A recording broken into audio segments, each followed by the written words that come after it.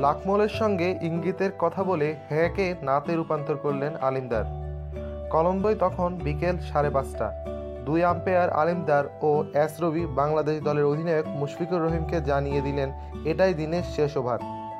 আগের ওভারে প্রেস বক্সে থাকা প্রান্ত থেকে বল করছিলেন তাইজুল ইসলাম। প্রথমে তার হাতেই বল। তাইজুলের বোলিংয়ের প্রস্তুতি প্রায় নিয়ে ফেললেও হঠাৎ সিদ্ধান্ত বদল।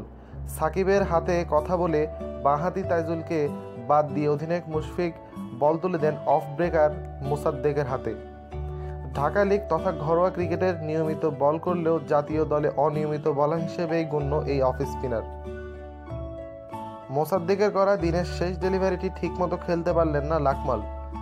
এ লঙ্কান পেসারের ব্যাটের উপরের অংশ, গ্লাভস ও প্যাট ছুঁয়ে বল চলে গেল ফরওয়ার্ড শট লেগে ওত পেতে থাকা সাব্বির রহমানের হাতে।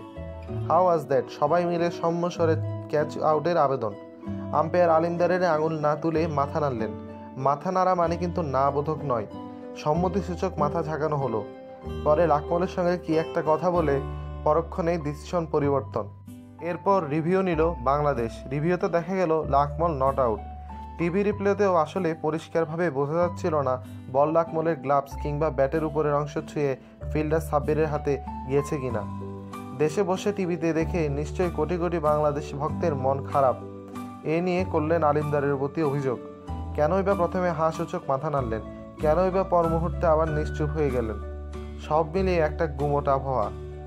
তবে ভক্ত সমর্থকদের জন্য আছে সান্ত্বনার বাণী। প্রেস কনফারেন্সের পর হোটেলে ফেরার আগে কম্পিউটার অ্যানালিস্ট বারবার ওই ভিডিও ফুটেজ দেখিয়েছেন সবাইকে। স্টেডিয়ামে থেকে হোটেলে বাসে ওঠার আগে কড়া নিরাপত্তা বেষ্টনীতে সাংবাদিকদের সাথে কথা বলার কোনো অবকাশ নেই। এর মধ্যেও ম্যানেজার খালেদ মাহমুদ সুজন এই প্রতিবেদকের সাথে খানিকক্ষণ কথা বললেন। স্মিত হেসে খালেদ মাহমুদ জানালেন, না রে ভাই, আমরা ড্রেসিং রুমে বেশ কবার ভিডিও দেখলাম, আউট হয়নি। বল, ব্যাট ও গ্লাসে লাগেনি লাকমলের সহদিনায়ক তামিম ইকবালও মাথা নাড়িয়ে জানিয়ে দিয়েছেন, না ওটা আউট হয়নি।